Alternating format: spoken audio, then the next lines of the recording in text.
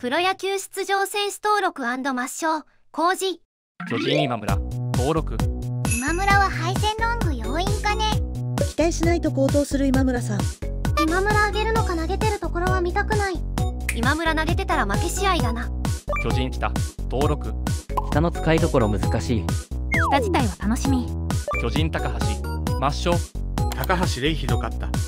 高橋レイもやったダメやったか高橋レイなんで一軍に上げたかよくわからないよ。巨人またぎ。抹消。グッバイまたぎ。またきも7敗するまで先発させたらよいのに。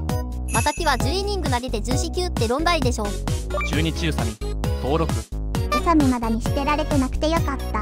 宇佐美はメヒア用かな。宇佐美捨てるようになってるのか。中日石橋。抹消。石橋さんの使い悪い石橋が強肩なら安泰だったがそうじゃない。中日樋口。抹消。